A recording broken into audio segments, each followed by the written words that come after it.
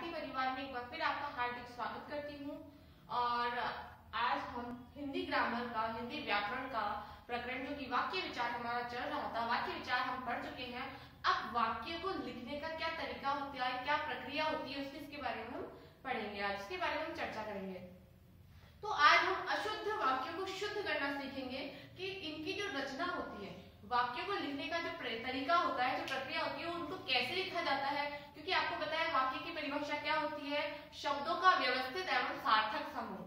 ठीक है तो व्यवस्थित यानी इसको क्रमानुसार रखा जाना ये हमारा क्या कहलाता है? वाक्य कहलाता है। तो अशुद्ध वाक्यों को शुद्ध करना हम आज सीखते हैं।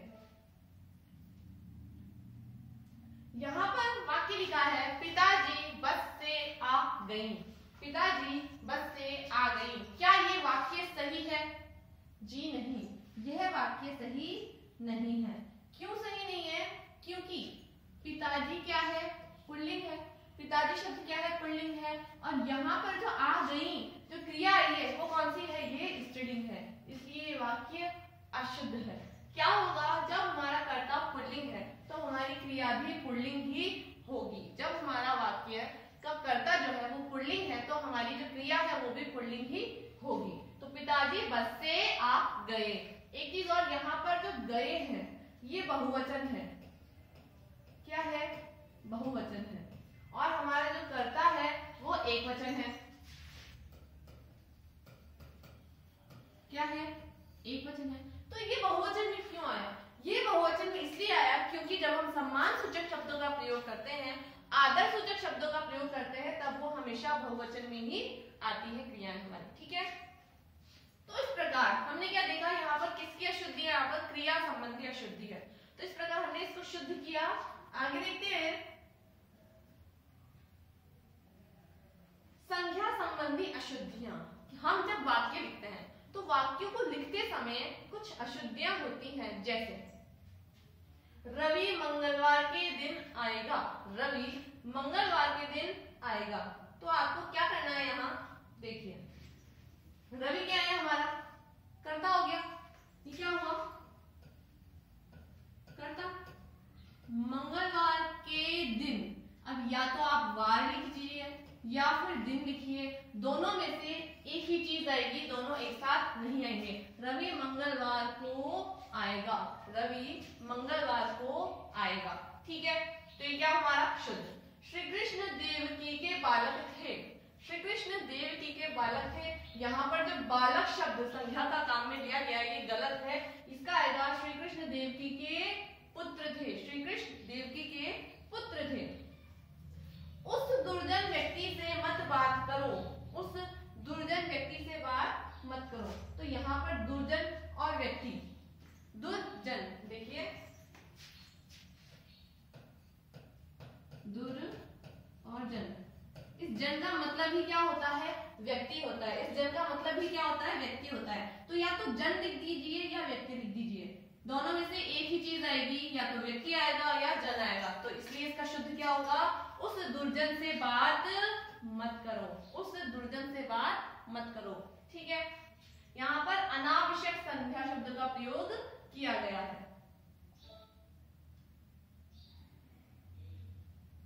नेक्स्ट है वचन संबंधी शुद्धियाँ। वचन संबंधी शुद्धियाँ ठीक है? अशुद्ध वाक्य हमारा उसने हस्ताक्षर कर दिया है। कुछ शब्द जो कि दिखने में तो हमें एक वचन लगते हैं, लेकिन जब वाक्य में उनका प्रयोग किया जाता है तो वो बहुवचन होते हैं। जैसे हस्ताक्षर। यहाँ पर जो हस्ताक्षर शब्द आया है, ये हस्ताक्षर शब्द, आपको क्या लग रहा है? आपको एक वचन लग रहा है। लेकिन जब हम इसके साथ में क्रिया का प्रयोग करेंगे तो ये बहुवचन में होगी। जब हम इसके साथ में क्रिया का प्रयोग करेंगे तो वो बहुवचन में क्रिया होगी। यहाँ पर क्रिया क्या है? दिया है और यहाँ क्या है? दिए हैं। तो ये हस्ताक्षर शब्द जो है, वो हमेशा बहुवचन होता है। बहुत बार परीक्षा, प्रतियोगी परीक्षाओं में आया हुआ प्रश्न है ये। दूसरा उदाहरण है, वहाँ चार लड़कियों खड़ी थी। लड़कियों खड़ी थी। जी नहीं, लड़कियों शब्द गलत होता है। वहाँ चार लड़कियाँ खड़ी थी।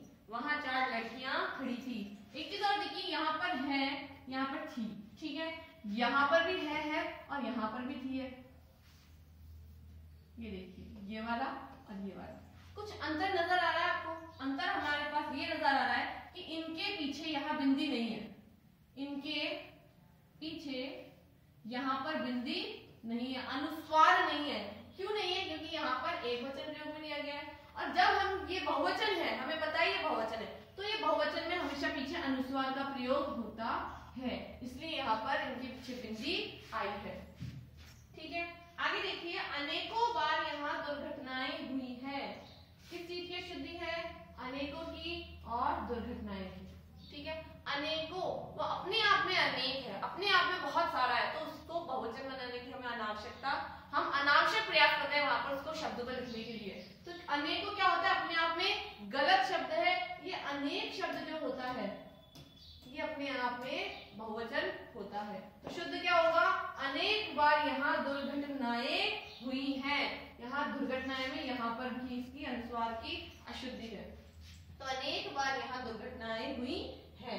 तो हुई है में भी क्या आएगा? अनुस्वार यहाँ आएगा। आगे बढ़ते हैं।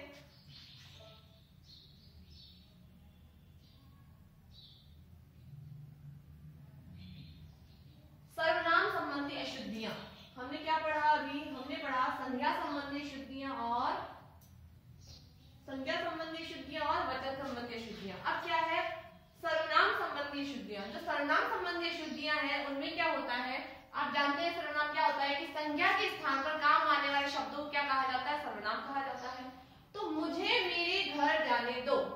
क्या ये शुद्ध है? जी नहीं, शुद्ध होगा, मुझे अपने घर जाने दो। यहाँ पर मेरे सर्वनाम का जो प्रयोग हुआ, ये गलत है। मेरे के स्थान में क्या आएगा? अपने, मुझे अपने घर जाने दो। काजल तेरे को बुला रही है। यहाँ तेरे को हमारी हिंदी व्याकरण में कोई सर्वनाम नहीं होता है। हमारी हिंदी में सर्वनाम होता है तुझे। काजल तुझे बुला रही है। मैं तेरे को नहीं बुलाऊँगा। फिर वही चीज़ यहाँ तेरे को कोई शब्द नहीं होता हमारे हिंदी व्याकरण में। तुम्हें नहीं बुलाऊँगा, मैं तुम्हें नहीं बुलाऊँगा। शुद्ध वाक्य हमारा ये होगा। तो सर्वनाम संबंधी शुद्धियाँ कई बार ऐसा होता है कि आपको प्रश्न के अंदर, जैसे, यहाँ पर लिखा है, मुझे मेरे घर जाने दो, इसके टुकड़े किए। ठीक है? ये हो गया क, ये हो गया ख ये हो गया ग और ये हो गया घ। प्रश्न आया कि वाक्य के किस क्रम में अशुद्धि है? क में, ख में, ग में या घ में? तो आपका उत्तर क्या होगा? ख में। क्योंकि मेरे यहाँ पर सर्वनाम जो है, ये गलत नियुक्त हुआ है, ठीक है? तो इस प्रकार के प्रश्न आपको परीक्षा में देखने को मिलेंगे। काजल तेरे को बुला रही है तो काजल के बाद यहाँ आ गया, ये यहाँ गया, ये यहाँ गया, ठीक है? तो इसमें भी ख में। फिर मैं तेरे को नहीं बुलाऊँगा, मैं तेरे को नहीं बुलाऊँगा। तो इसमें भी ये ख ठीक है? तो इस प्रकार के प्रश्न आपकी परीक्षाओं में आते हैं।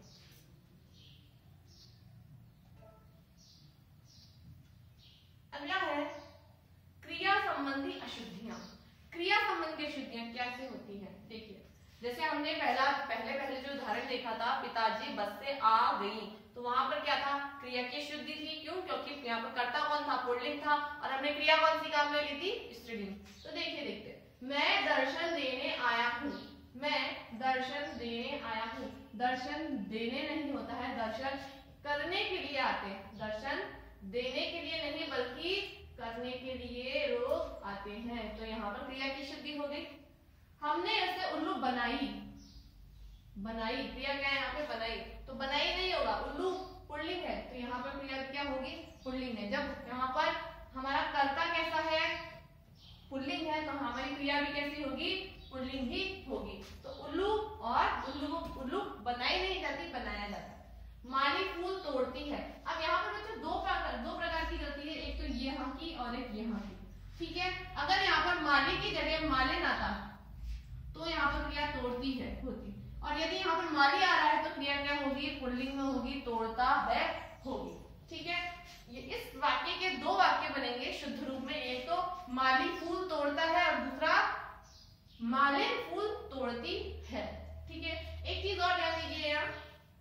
यहाँ पर ये जो ड आया है, ये ड नहीं, इसे अड़ कहा जाता है। क्या कहा जाता है? इसे अड़ कहा जाता है। क्यों? क्योंकि यहाँ ये उच्चिप्त व्यंजन है। उच्चिप्त व्यंजन में ड के नीचे। यहाँ बिंदी है, ये उच्चिप्त व्यंजन पर इसके नीचे बिंदी आएगी, ये ड का स्वर नहीं बल्कि अड़ का स्वर देगा। तो क्या होगा ये? तोड़ती ना कि तोड़ती। क्या होगा? तोड़ती। ठीक है? आगे बढ़ते हैं।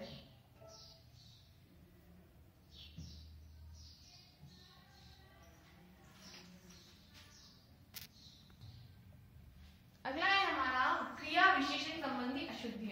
क्रिया विशेषण क्या होता है? आपको पता है, क्या होता है? क्रिया की विशेषता बताने वाले शब्दों को क्रिया विशेषण कहा जाता है और ये अव्यय भी होते हैं। ठीक है? तो यहाँ पर देखिए, वाक्य हमारा वह सारी रात भर यही था। अब सारी और भर, दोनों एक ही चीज़ को दर्शाती है सारी और भर दोनों एक ही चीज़ को दर्शा रही है तो दोनों शब्दों का प्रयोग एक साथ नहीं किया जाता वह रात भर यही था या फिर वह सारी रात यही था दोनों में से एक ही शब्द का प्रयोग हम वाक्य अंदर करेंगे। ठीक है? फिर आज सुबह से वर्षा बिना रुके हो रही है। आज सुबह से वर्षा बिना रुके हो रही है। अब यहाँ पर जो बिना रुके शब्द आया है, ये गलत है। इसके क्या आएगा आज सुबह से वर्षा लगातार हो रही है। बिना रुके का मतलब लगातार हो रही है। विश्व में भारतीय सर्वस्व फैले हैं। क्या ये सर्वस्व शब्द सही है जी नहीं सर्वस्व की सर्वत्र, विश्व में भारतीय सर्वत्र फैले हैं। ये हमारा शुद्ध वाक्य होगा। तो ये कौन सी कौन सी अशुद्धि थी ये क्रिया विशेषण से संबंधित अशुद्धियाँ थी? अगला है हमारा योजक संबंधी अशुद्धियाँ। अब योजक संबंधी अशुद्धियाँ क्या होती है? देखो, वह चला गया, अतः मैं आ गया था अब यहाँ पर योजक संबंधी यानी जोड़ने से संबंधित अशुद्धियाँ देखो। वह चला गया क्योंकि मैं आ गया था। वह क्यों चला गया? क्योंकि क्योंकि जो यहाँ पर पर्सन है बोलने वाला वो आ गया था तो क्या हो गया यहाँ देखो वह चला गया था अब यहाँ पर ये जो योजक का प्रयोग हुआ है ये गलत है इसकी जगह क्या आएगा ये क्योंकि आएगा ठीक है वह बोला था वह बीमार यहाँ पर किसी योजक का प्रयोग ही नहीं किया गया क्या आएगा यहाँ ये वह बोला कि वह बीमार है यद्यपि वह बुद्धिमान है किंतु आलसी यद्यपि वह बुद्धिमान है आलसी यद्यपि के साथ में तथापि का प्रयोग किया जाता है, ठीक है? किंतु का नहीं किया जाता। और जब भी हम किसी योजक का प्रयोग करते हैं, उससे पहले कोमा या किसी भी प्रकार के विराम चिन्ह का प्रयोग नहीं किया जाता, ठीक है? क्योंकि हमारा वाक्य जो होता है, वहाँ विश्राम नहीं ले रहे हैं हम, उन दोनों को जोड़ रहे हैं, ठीक है? तो ये था हमारी किस कौन सा संबंधित योजक संबंधी अशुद्धियाँ। आगे बढ़ते हैं। पदक्रम संबंधी अशुद्धियाँ। अब पदक्रम की पदक्रम क्या होता है? पदक्रम होता है व्यवस्था के अनुसार जमाना। व्यवस्थित क्रम में जमाना या अनुमिति में जमाना ठीक है? तो क्या संभव हो सकता है यह?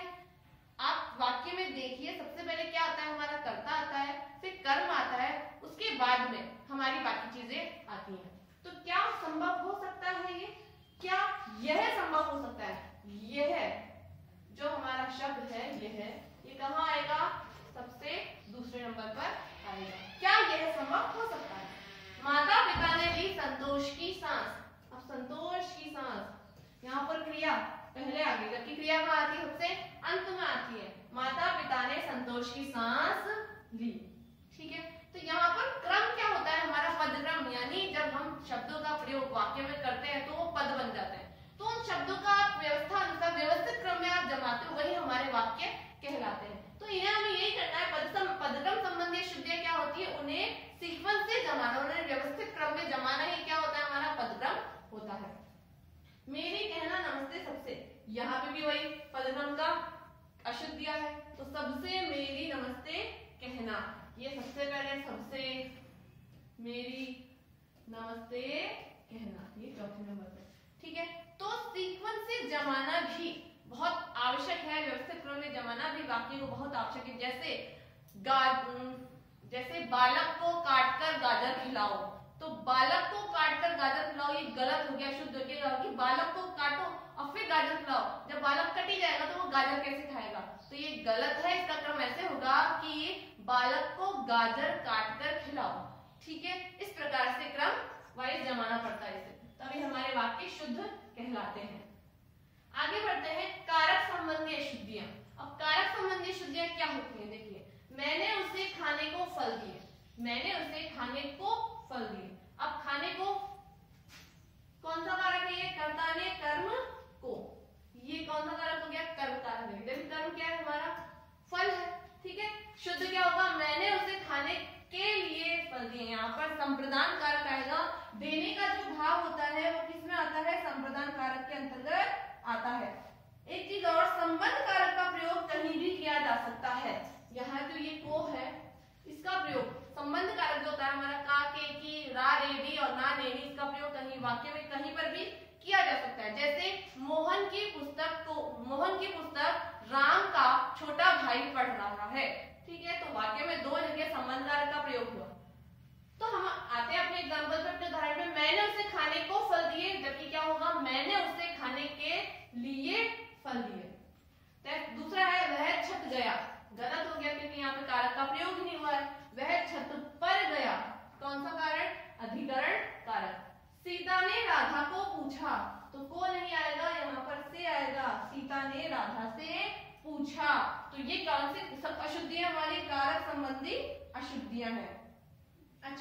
यहाँ पर आप देखिए कि संबंध कारक का प्रयोग कहीं भी किया जा सकता है, लेकिन इसके अलावा जो कारक होते हैं हमारे, शेष कारकों का प्रयोग करता हुए कर्म के मध्य अवरोही क्रम में किया जाता है।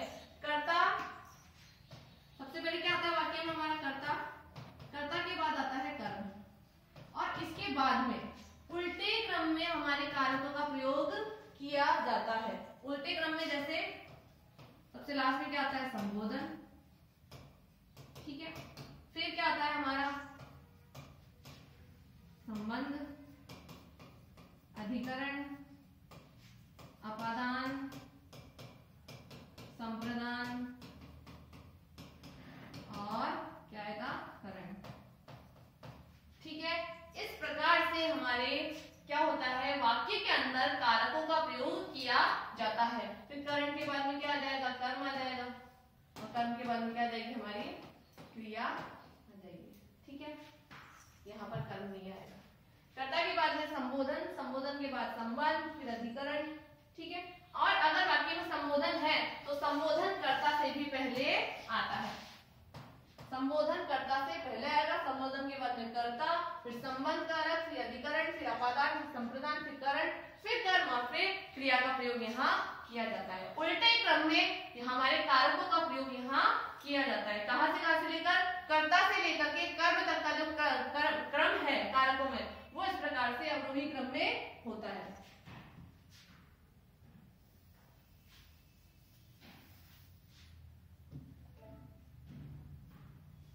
अब है विशेषण संबंधी अशुद्धियाँ।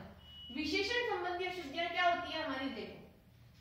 विशेषण हमारा जो हमारे कर्ता है, वो अगर स्त्रीलिंग है और हमने विशेषण पुल्लिंग का प्रयोग कर लिया, पुल्लिंग विशेषण का प्रयोग कर लिया तो वो वाक्य हमारा अशुद्ध हो जाएगा।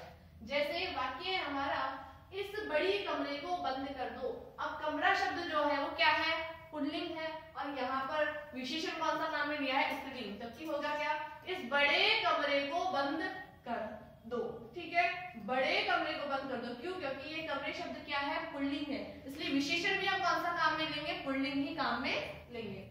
इन आगामी नेताओं का स्वागत करो। आगामी यानी आने वाले। जी नहीं, ये गलत होगा। भावी नेताओं का स्वागत करो। भावी यानी भविष्य में होने वाले नेताओं का। उस कमरे में गहरा अंधेरा है। गहरा नहीं होता है, घना होता है। क्या होता है? घना। गहरा विशेषण गलत है। क्या होगा? घना होगा। ठीक है? ये थी हमारी विशेषण संबंधी अशुद्धियाँ। तो ये देखा हमने वाक्य में किस प्रकार अशुद्धियाँ होती हैं, कैसे हम उनको शुद्ध कर सकते हैं। इनके अलावा भी बहुत सी अशुद्धियाँ होती हैं, जिनके बारे में हम जानते हैं। जैसे क्रम की अशुद्धियाँ होती है। क्रम की अशुद्धियों के अंतर्गत कुछ होता है, जैसे स्थान के लिए हम जो प्रयोग करते हैं। स्थान के लिए, पीछे और समय के लिए बाद शब्द का प्रयोग किया जाता है। जैसे,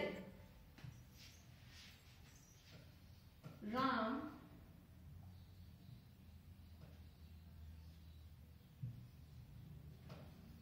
राम शाम के पीछे बैठा है। यहाँ देखिए, यहाँ क्या आ रहा है?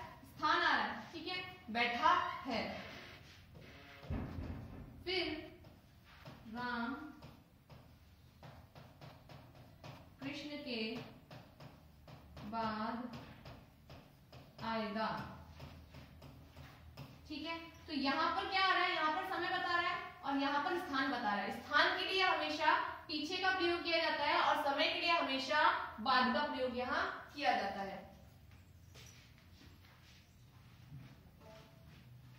तो इस प्रकार हमने देखा कि वाक्यों को जो अशुद्ध वाक्य होते हैं उनको शुद्ध कैसे किया जाता है और जो क्रम होता है हमारा सबसे बड़ी चीज़ व्यवस्थित क्रम ही हमारा वाक्य कहलाता है तो व्यवस्थित क्रम में उनको जमाना वाक्य में आ रही अशुद्धियों को दूर करना जिनमें क्रिया संबंधी क्रिया संबंधी शुद्धियाँ विशेषण संबंधी शुद्धियाँ कारक संबंधी शुद्धियाँ वचन संबंधी शुद्धियाँ लिंग संबंधी शुद्धियाँ क्रिया विशेषण संबंधी शुद्धियाँ सर्वनाम संबंधी शुद्धियाँ, कारक संबंधी शुद्धियाँ आदि आती, आदि हमारी आती है। तो उनको ध्यान से देखना, वाक्य को ढंग से पढ़ करके समझना चाहिए कि वाक्य में वो क्रम बैठ रहा है या नहीं। उसके बाद हमें हमें अपना उत्तर ढूंढना चाहिए। तो कैसा लगा वीडियो आपको कमेंट करके ज़रूर बताइएगा। फिर मिलेंगे आपसे नेक्स्ट वीडियो में नेक्स्ट टॉपिक के साथ। तब तक के लिए धन्यवाद।